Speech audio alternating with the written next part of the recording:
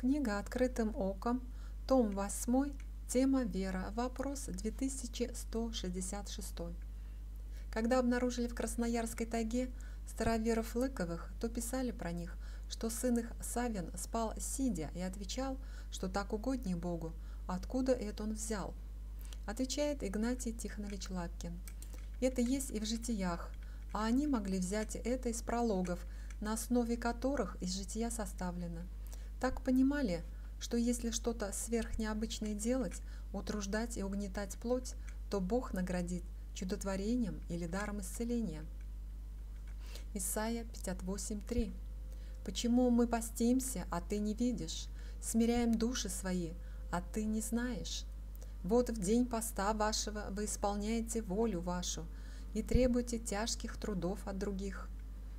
Исайя 59.11 все мы ревем, как медведи, и стонем, как голуби, ожидаем суда, и нет его, спасения, но оно далеко от нас. Агапит Исповедник. День памяти 18 февраля. Кавычки открыты. Родители его были христианами. Еще в молодых годах он принял инчество и поступил в один из монастырей своей родины, где подвязалось более тысячи иноков. Научившись от них добрым инческим навыкам, преподобный вскоре стал искусным исполнителем заповедей Господних. Он так ревностно подвязался в посте, бодрствовании и молитве, что у всех вызывал удивление и за свои строгие подвиги пользовался в обители всеобщей любовью.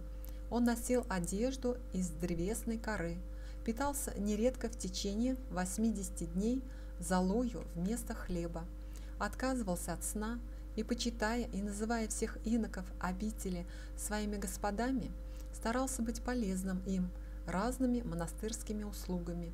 Кавычки закрыты. В скобках.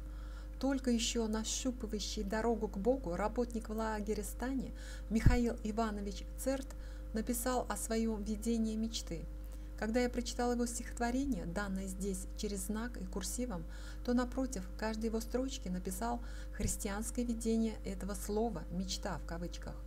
Михаил вначале расстроился, подивился, а потом, проверив все указанные места в Библии, согласился, что слово «мечта» в кавычках не христианское, не созидательное.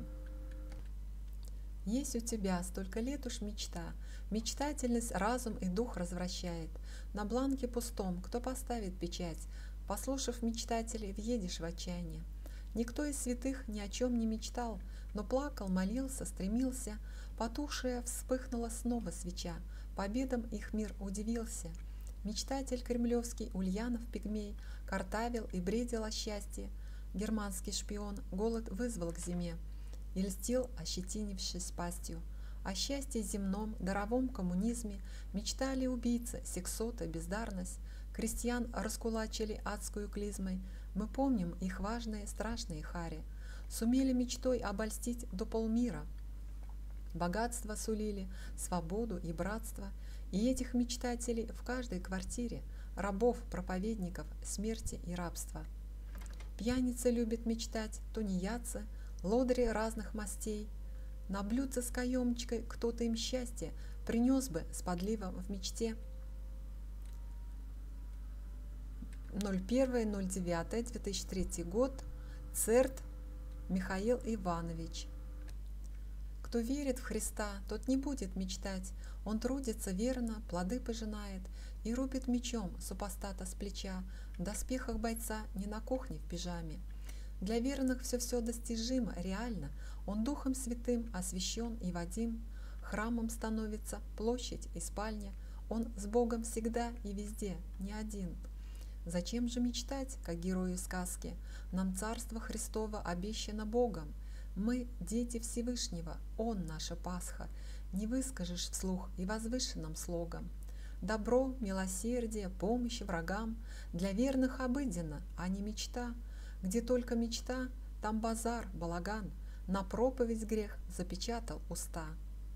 5.09.2003 год. Игнатий Тихонович Лапкин